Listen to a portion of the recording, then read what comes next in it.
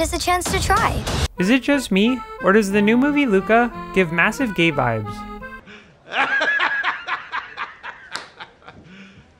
You serious? Yeah, Jonah, I'm serious. Luca is an upcoming film about two boys who befriend a girl and go on adventures together. On its surface, it looks like stereotypical Disney, but could the movie be an allegory for repressing one's sexuality? Well, let's take a look. I'm Very Barry. If you enjoy this content, like and share it with your friends. Also, don't forget to hit the sub and notification bell so you'll always see my latest content. Just to be clear, this is speculation based on how me and my girlfriend interpreted the scenes. In the trailer, the mermaids are meant to represent the people who have to hide or their sexuality.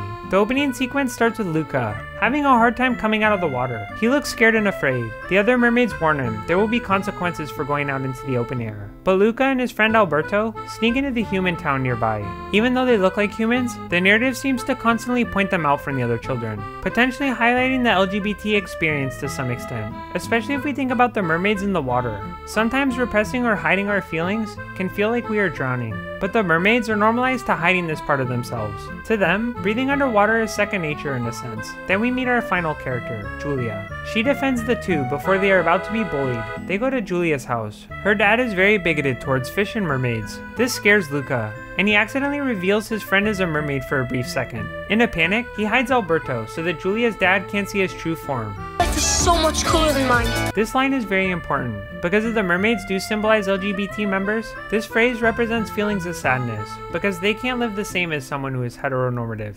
Plus, Luca always seems to have uncomfortable expressions on his face whenever people are staring at him hard. The main character's fear is similar to many LGBT members. We can't be seen. We must not let them know who we really are. The one scene that to me seals the deal the most on it being an LGBT film is the Silencio Bruno scene. Alberto seems to be teaching Luca how to silence his inner saboteur. Instead of hiding his sexuality, his friends encourage him to be open about it. I love the galaxy scenes because I believe they are an expansion of perspective. Luke only thinks there is one way to live, to hide in fear from the humans, only showing what he perceives to be the acceptable parts of his personality. But his friends empower him enough to change how he sees reality.